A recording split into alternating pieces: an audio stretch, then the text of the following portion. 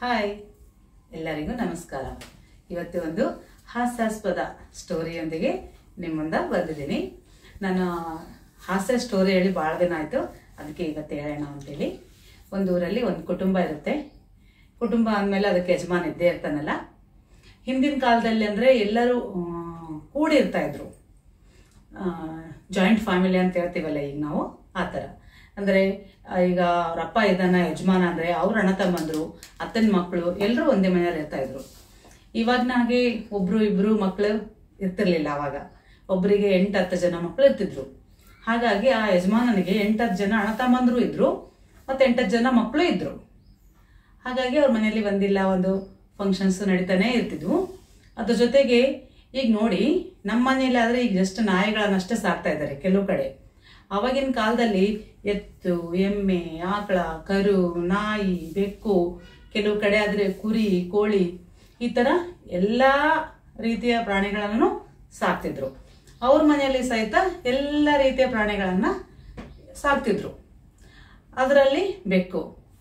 ಅದು ನೋಡ್ರಿ, ಈಗ ಆಕಳ, ಕರು ಎಲ್ಲ ಇದ್ರೆ ಹೊರಗಡೆ ಕಟ್ಟಿಬಿಡ್ತೀವಿ ಅದಕ್ಕೆ. ನಾಯಿ ಇದ್ರೂ ಹೊರಗಡೆ ಕಟ್ಟಾಕ್ತೀವಿ ಬಟ್ ಬೆಕ್ಕಿನ ಕಟ್ಟಾಯಕ್ಕಾಗಲ್ಲಲ್ಲ ಅದು ಮನೆಯೆಲ್ಲ ಓಡಾಡ್ತಾ ಇರ್ತದೆ. ಅದು ಮನೆಯಲ್ಲಿ ಅವರು ಸಾಕಿರೋದ್ರಿಂದ ಅದು ಬೆಕ್ಕು ಮನೆಯೆಲ್ಲ ಓಡಾಡ್ತಾ ಇರ್ತದೆ. ಇದೇ ರೀತಿ ನಡ್ತಿರ್ಬೇಕಾದ್ರೆ ಆ ಯಜಮಾನರ ಮನೆಯಲ್ಲಿ ಒಂದು ಫಂಕ್ಷನ್ ಬರುತ್ತೆ. ಅಂದ್ರೆ ಮದ್ವೆ, ಆ ಥರ ಫಂಕ್ಷನ್ ಬರುತ್ತೆ. ಫಂಕ್ಷನ್ ಬಂದಾಗ ಆಲ್ರೆಡಿ ಇವರೇ ಮನೆ ಜಗ್ಗಿ ಜನ ಇರೋರು, ಬಹಳ ಜನ. ಅದ್ರ ಜೊತೆಗೆ ಇನ್ನ ಗೆಸ್ಟ್ ರಿಲೇಟಿವ್ಸ್ ಅಂತೂ ಬಂದೇ ಬರ್ತಾರಲ್ಲ ಅವರು ಬಂದಿದ್ರು. ಬಟ್ ಇದು ಬೆಕ್ಕು ಮನೆಯೆಲ್ಲ ತಿರುಗಾಡ್ತಾ ಇತ್ತಲ್ಲ ಯಾರಾದ್ರೂ ಬಂದ್ರೆ ಅವ್ರ ಕಾಲು ಕಳೆಗೆಲ್ಲ ಹೋಗೋದು, ಅವ್ರ ಮೈ ಮೇಲೆ ಬೀಳೋದು, ಅಥವಾ ಗೆಸ್ಟ್ ಬಂದರಂತ ಹಾಲು, ಮೊಸರು ಏನಿಟ್ರೆ ಅದ್ರ ಮೇಲೆ ಮೂಸ್ ನೋಡೋದು, ಈ ತರ ಎಲ್ಲ ಮಾಡ್ತಾ ಇರುತ್ತೆ. ಕೆಲವರಿಗೆ ಇರಿಟೇಟ್ ಆಗುತ್ತಲ್ಲ, ಎಲ್ರಿಗೂ ಅಡ್ಜಸ್ಟ್ ಆಗಲ್ಲ. ಕೆಲವರು ಹಾಲು ಬೆಕ್ಕು ಕುಡಿದ್ರೆ ಆ ಹಾಲ್ಗಳ ಹಾಲನ್ನ ಮುಟ್ಟೋದಿಲ್ಲ.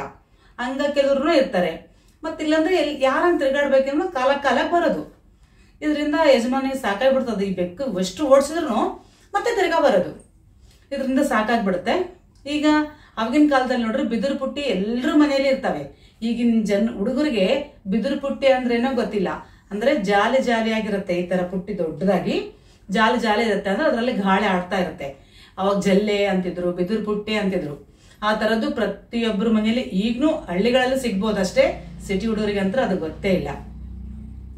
ಆ ಪುಟ್ಟಿ ಇರ್ತಿತ್ತು. ಆ ಯಜಮಾನಿ ಕುಂತಲ್ಲೇ ಒಂದು ಯೋಚನೆ ಬಂತು. ಇದು ಬೆಕ್ಕು ಸುಮ್ಮನೆ ತಿರುಗಾಡಕತ್ತದ ಕಾಲ ಕಾಲ, ಕಾಲಾಗ ಹಾಲು, ಮೊಸರು ಎಲ್ಲ ತಿನ್ನೋದು ಮುಸ್ನಡೋದು ಮಾಡಕತ್ತತೆ. ಬಂದು ಬೀಗರೆಲ್ಲರಿಗೆ ತಿನ್ನಾಕ ಮುಜುಗಾರ ಪಟ್ಕೊಳ್ತಾ ಇದ್ದಾರೆ ಇದನ್ನ ಏನ್ ಮಾಡ್ಬೇಕು ಅಂತ ಒಂದು ಉಪಾಯ ಮಾಡಿ ಆತ ಬೆಕ್ಕನ್ನು ತಗೊಂಡ್ ಬಂದು ಒಂದ್ ಕಡೆ ಇಟ್ಟು ಅದ್ರ ಮೇಲೆ ಆ ಬುದುರಿ ಪುಟ್ಟಿನ ಮುಚ್ಚಿ ಬಿಡ್ತಾನೆ. ಮುಚ್ಚಿ ಫಂಕ್ಷನ್ ಚಾಲಾಗುತ್ತ ಫಂಕ್ಷನ್ಸ್ ಎಲ್ಲ ಮುಗಿತದ, ಊಟ ಆಗ್ತಾವ, ಬೀಗ್ರ ಕಡೆ ಕಡೆ ಹೋಗ್ಬಿಡ್ತಾರ, ಇವ್ರು ಇರ್ತಾರಲ್ಲ, ಅವಾಗ ಅದು ಬೆಕ್, ಪುಟ್ಟಿ ತೆಗಿತಾನ ಅದು ಬೆಕ್ಕು ಹೋಗ್ತಾ ಇರ್ತದೆ. ಮತ್ತೆ ಮತ್ತೊಂದ್ಸಲ ಮತ್ತೊಂದು ಫಂಕ್ಷನ್ ಬರುತ್ತೆ. ಅದನ್ನು ಮತ್ತೆ ಮತ್ತೆ ಕಾಲಕ್ಕೆ ಬಂದೇ ಬರುತ್ತಲ್ಲ ಅದು? ಅವಾಗ ಏನು ಮಾಡ್ಬೋದು ಮತ್ತೆ ಫಂಕ್ಷನ್ ನಡೆ ಟೈಮಿಗೆ ಮದುವೆ. ಜ, ಬಹಳ ಜನ ಇದ್ದಾಗ ಏನಿಲ್ಲ ಒಂದು ಫಂಕ್ಷನ್ಸ್ ಮದುವೆಗಳು ಇದ್ದೇ ಇರ್ತಾವಲ್ಲ? ಮತ್ತೆ ಫಂಕ್ಷನ್ ನಡೆದಾಗ ಮತ್ತೆ ಅದೇ ರೀತಿ ಮಾಡ್ತಾನ. ಆ ಮನೆ ಯಜಮಾನ. ಮತ್ತೆ ಆ ಬೆಕ್ಕಿನ ತಗೊಂಡ್ಬರ್ತಾನ ತಗೊಂಡ್ ಬಂದಿಟ್ಟು ಆ ಪುಟ್ಟಿ ಮುಚ್ಚಿಬಿಡ್ತಾನ ಫಂಕ್ಷನ್ಸ್ ಎಲ್ಲ ಮುಗಿದ್ಮೇಲೆ ಎಕಡೆ ಆ ಕಡೆ ಹೋದ್ಮೇಲೆ ಅದನ್ನ ತೆಗಿತಾನೆ. ಈ ರೀತಿ ಕಾಲಕ್ರಮೇಣ ಬರುತ್ತೆ. ಅದನ್ನೆಲ್ಲ ಈಗ ಮನೆಯಲ್ಲಿ ಅವ್ರಣ್ಣ ತಮ್ಮಂದ್ರು ಇತ್ತಿನ ಮಕ್ಕಳು ಎಂಟತ್ತು ಜನ ಮಕ್ಕಳು ಎಲ್ಲರೂ ನೋಡ್ತಾ ಇರ್ತಾರೆ. ನಮ್ಮಪ್ಪ ಫಂಕ್ಷನ್ ಟೈಮಿಗೆ ಬೆಕ್ಕಿನ ಮುಚ್ಚಿಡಕತ್ತಾನ ಫಂಕ್ಷನ್ ಅಲ್ಲಿ ಆದ್ಮೇಲೆ ಬೆಕ್ಕ ತೆಗೆಯಕತ್ತನಲ್ಲ ಅಂತ ನೋಡಿರ್ತಾರ. ನೋಡ್ತಾ ಇರ್ತಾರ. ಇನ್ನ ಕಾಲಕ್ರಮೇಣ ಕಾಲಕ್ರಮೇಣ ಆದಂಗಲ್ಲ. ಯಜಮಾನನಿಗೂ ವಯಸ್ಸಾಯ್ತು ಆತ ಸತ್ತ. ಬೆಕ್ಕಿಗೂ ವಯಸ್ಸಾಯ್ತು, ಬೆಕ್ಕು ಸತ್ತಿತ್ತು. ಬಟ್ ಇನ್ನು ಅಣ್ಣ ತಮ್ಮಂದ್ರು ಮಕ್ಕಳು ಎಲ್ಲರೂ ಬೇಡ ದೊಡ್ಡರಾಗ್ತಾರಲ್ಲ ಅವ್ರಿಗೂ ಮದುವೆಗಳು ಮಾಡಬೇಕು, ಅವ್ರಿಗೂ ಫಂಕ್ಷನ್ಸ್ ಇರುತ್ತೆ. ಆವಾಗ ಮತ್ತೆ ಫಂಕ್ಷನ್ಸ್ ಬರುತ್ತೆ. ಮತ್ತೆ ಫಂಕ್ಷನ್ ಬಂದಾಗ ಈಗ ಆ ಮನೇಲಿ ಬೆಕ್ಕೂ ಇಲ್ಲ. ಈಗಿನ ಜನ್ರೇಷನ್ಗೆ ಪುಟ್ಟಿನೂ ಇಲ್ಲ. ಅವಾಗ ಆತನ ಮಗ ಆಲೋಚನೆ ಮಾಡ್ತಾನ, ಒಂದು ಬೆಕ್ಕಿನ ತರಿಸ್ಬಿಟ್ರೆ ಹೆಂಗಿರ್ತದ ಅಂತೇಳಿ ಒಂದು ಬೆಕ್ಕಿನ ತರಿಸ್ತಾನ. ತರಿಸಿ ಪುಟ್ಟಿ ಬೇಕಲ್ಲ ಮುಚ್ಚೋದಕ್ಕೆ, ಬಿದಿರು ಪುಟ್ಟಿ, ಬೇರೆ ಪುಟ್ಟಿ ಮುಚ್ಚಿದ್ರೆ ಉಸಿರು ಕಟ್ಟಿ ಸತ್ತೋಗುತ್ತೆ ಹಂಗಂತೇಳಿ ಒಂದು ಬಿದಿರು ಪುಟ್ಟಿನೂ ತರಿಸ್ತಾನೆ ಆರ್ಡರ್ ಕೊಟ್ಟು. ತರಿಸ್ತಾನೆ, ಇನ್ನೇನು ಮದುವೆ ಸ್ಟಾರ್ಟ್ ಆಗ್ಬೇಕನ್ನೋದ್ರಾಗ ಆ ಬೆಕ್ಕು ತಂದಿರ್ತಾರಲ್ಲ, ಏ ಬೆಕ್ಕಿನ ಅಂತಾನ. ತಂದ ಆ ಬೆಕ್ಕಿನ ತಗೊಂಡೋಗಿ ಮನೆಯಾಗ ಹೋಗಿ ಅದನ್ನ ಇಟ್ಟು ಬಿದಿರು ಪುಟ್ಟಿ ಮುಚ್ಚಿ ಮದುವೆ ಫಂಕ್ಷನ್ ಮಾಡಕ್ ಸ್ಟಾರ್ಟ್ ಮಾಡ್ತಾರೆ. ಫಂಕ್ಷನ್ ಎಲ್ಲ ಆದ್ಮೇಲೆ ಎಕಡರ ಕಡೆ ಹೋಗ್ತಾರಲ್ಲ, ಅವಾಗ ಆ ಪುಟ್ಟಿ ತೆಗೆದು ಬೆಕ್ಕಿನ ಬಿಡ್ತಾರೆ. ಇದೆಲ್ಲ ನೋಡ್ತಾ ಇರ್ತಾರಲ್ಲ, ಅವ್ರಿಗೆಲ್ಲ ಏನೋ ವಿಚಿತ್ರ ಅನ್ಸುತ್ತೆ. ಇದೇ ನೀವು ಬೆಕ್ಕು ತಂದು ಮುಚ್ಚಿಟ್ಟು, ಈಗೆಲ್ಲ ಮದುವೆ ಫಂಕ್ಷನ್ ಆದ್ಮೇಲೆ ತೆಗಿತಾ ಇದ್ದಾನಲ್ಲ ಅಂತ. ಅಲ್ಲಿ ಕೆಲವ್ರಿಗೆ ಕ್ಯೂರಿಯಾಸಿಟಿ ಇರುತ್ತಲ್ಲ, ಕೇಳ್ತಾರೆ. ಯಾಕೆ ನೀನು ಆ ಥರ ಬೆಕ್ಕು ತರಿಸಿ, ಪುಟ್ಟಿ ತರಿಸಿ ಮುಚ್ಚಿಟ್ಟಿ ಅಂತ? ಅವಾಗ ಹುಡುಗ ಏನು ಹೇಳ್ತಾನೆ ಗೊತ್ತಾ? ಅವ್ರ ಮಗ ಏನು ಹೇಳ್ತಾನೆ ಅಂದ್ರೆ, ಹುಡುಗ ಅಲ್ಲ, ಈಗ ಬೆಳೆ ದೊಡ್ಡವನಾಗಿರ್ತಾನೆ.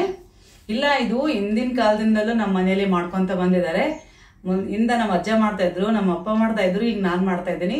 ನಮ್ಮ ಮನೇಲಿ ಏನೇ ಫಂಕ್ಷನ್ ಆದ್ರೂ ಬೆಕ್ಕುನ ಪುಟ್ಟಿ ಕೆಳಗೆ, ಅಂದ್ರೆ ಹಾಕಿ ಮುಚ್ಚಿಡ್ತೀವಿ ಅಂತ ಹೇಳ್ತಾನೆ.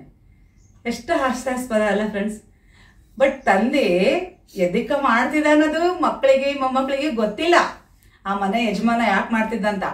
ಅವ ಏನೋ ಕಾಲ ಅಡ್ಡಡ್ಡ ಬರ್ತದ ಅನ್ನೋದಕ್ಕ. ಮುಚ್ಚಿಟ್ರೆ ಇವರು ಬೆಕ್ಕುನು ಇಲ್ಲ, ಯಜಮಾನನು ಇಲ್ಲ. ಬಟ್ ಅದೇ ಒಂದು ನಮ್ಮ ಸಂಪ್ರದಾಯ. ಅನ್ಕೊಂಡು ಮದುವೆ ಟೈಮಿಗೆ ಎಲ್ಲೋ ಇರೋ ಬೆಕ್ಕನ್ ತರಿಸಿ, ಎಲ್ಲೋ ಇರೋ ಪುಟ್ಟಿ ತರಿಸಿ ಇಟ್ಟು ಮುಚ್ಚಿ ಮತ್ತೆ ಎಲ್ರಿಗೂ ಇದು ನಮ್ಮ ತಾತನ ಕಾಲದಿಂದ ನಮ್ಮ ಅಪ್ಪನ ಕಾಲದಿಂದ ನಡ್ಕೊಂಡು ಬಂದಿದೆ. ಇದು ನಮ್ಮ ಮನೆ ಸಂಪ್ರದಾಯ. ಪ್ರತಿ ಮದುವೆಯಲ್ಲೂ ನಾವು ಈ ತರ ಬೆಕ್ಕು ಮುಚ್ಚಿಡ್ತೀವಿ ಅಂತ ಹೇಳಿದ್ನಂತ. ನಿಜ ಅಲ್ಲ ಫ್ರೆಂಡ್ಸ್ ಎಷ್ಟು ಹಾಸ್ಯಾಸ್ಪದ ಅಲ್ಲ? ಅದಕ್ಕೆ ನಮ್ಗೆ ಏನಾದ್ರೂ ಗೊತ್ತಿಲ್ಲ ಅಂದ್ರೆ ತಿಳ್ಕೋಬೇಕು. ಅದು ಅವ್ರೇನೋ ಮಾಡ್ಯಾರ ಅಂತ ನಾವೇನೋ ಮಾಡೋದಲ್ಲ ಅಲ್ಲ? ಈ ಹಾಸ್ಯ ಕತೆ ನಿಮ್ಗೆ ಇಷ್ಟ ಆಗಿದ್ರೆ ಖಂಡಿತ ಒಂದು ಲೈಕ್ ಮಾಡಿ, ನಾಲ್ಕು ಜನರಿಗೆ ಶೇರ್ ಮಾಡಿ ಅಂತ ಹೇಳ್ತಾ ಈ ವಿಡಿಯೋ ಮುಗಿಸ್ತಾ ಇದ್ದೀನಿ. ಮತ್ತೆ ನೆಕ್ಸ್ಟ್ ಸ್ಟೋರಿಯೊಂದಿಗೆ ನಿಮ್ಮ ಮುಂದೆ ಬರ್ತೀನಿ. ಅಲ್ಲಿವರೆಗೂ ನಮಸ್ಕಾರ.